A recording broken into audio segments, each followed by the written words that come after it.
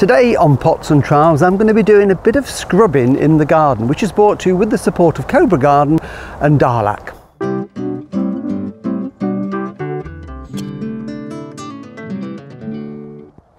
Hello and welcome to Pots and Trowels and it's another damp miserable day where we are in North Yorkshire. But if it is wet with you don't worry because hopefully soon we're going to start getting some dry weather and let's all look forward to spring when we can get out and do some proper gardening. But it's still nice to get out and have a little look because at this time of the year we can enjoy the evergreens and one thing that I particularly like is stem colours. And this is my little winter bed just here. It's a circular bed. It's about 10 metres across.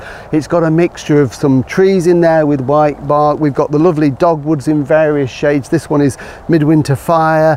I've got uh, Sibirica, which has got red stems, uh, and Kesselringii with purple stems. So it's a nice mixture in here. There's going to be hellebores, there's going to be snowdrops, followed by daffodils and then in the summer we've got the evergreens and some summer flowering shrubs. So it, it, gives colour and interest all year round but particularly in the winter it's just a nice bright bit of the garden. So I'm going to do something different today. Now very often I will use any excuse to get out of washing up in the house. I've got to check my emails I've got to put a log on the fire I've just got to check the thermostat in the greenhouse. But today I'm actually going to be outside with a bowl of washing up water and a scrubbing brush to do some cleaning. So I'll show you what I'm going to do with the birch trees.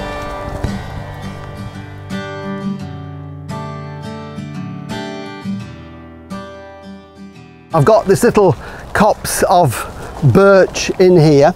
Uh, these are all Betula jacquemontii, which is a really lovely birch. I like all birch. I think birch is probably one of my favourite trees, along with Amelanchier uh, is another one of my favourites. But I love them for their bark, and you can get different barks, pinkish barks, brown peely barks. But jacquemontii is probably one of the best for this lovely creamy white bark, and they look lovely but at this time of the year when it's been so wet you can see we get this green algae growing on the bark and some of the bark is starting to peel off so I think it detracts from the overall impression. I want this to look nice and bright through the latter part of winter and into spring. So I'm going to give it a little bit of a makeover on the trees. So first thing is we can see on this one here, some of the bark is already starting to peel. It does that annually as the trunk gets bigger in girth and the, the old bark splits to reveal the new bark beneath. So uh, very simply, I'm just going to peel off a little bit of this bark. It, it's really therapeutic to do this. It's the sort of thing that you can't help doing and it doesn't do any harm at all to the tree. So any loose bark on there, and don't worry if it's not going to come off, we're not going to do anything to, to peel it off or cut it off because that will eventually come off. But for the process of this, I'm just getting rid of the loose bark round there like that. So that instantly looks better and we can see the natural colour. It's this lovely sort of creamy white colour underneath. Just get that little bit there. So I've got the loose flaky bark off there, up to there. And then what I'm going to do is literally put that there for a moment. I've got some water here. Now this is just lukewarm water, more for the benefit of my hands than the tree. Um, and it's just got a tiny little bit of a soft mild detergent. In only literally a drop. It just helps to remove uh, this green algae on there. So using a brush uh, a hand brush a stiff one is good for where it's the barks um, a little rougher or where it's dried on more.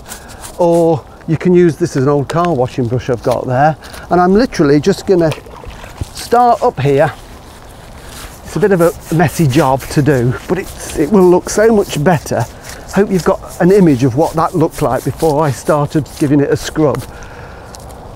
I remember doing this once for television for the BBC at the Bluebell Arboretum in Leicestershire.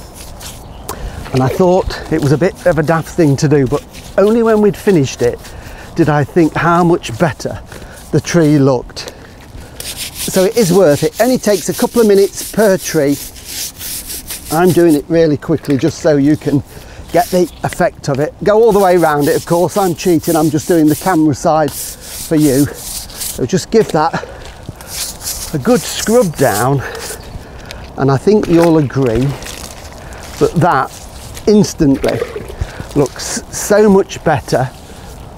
And by the time I've done all of the trees in this little copse here with the dogwoods and when the when the snowdrops are through and everything bursts into life these birch will really shine when we do get some spring sunshine. So if you're stuck for something to do and you've got a birch, perfect excuses, bucket of water, scrubbing brush and off you go.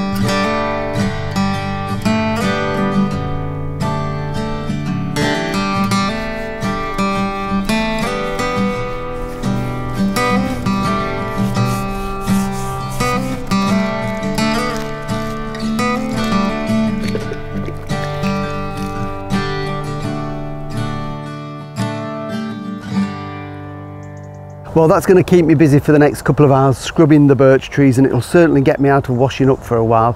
We'll be back next week when hopefully, if the weather's improved a little bit, I'm going to be doing some preparation in the veg plot ready for sowing and planting. So we'll see you then. Bye.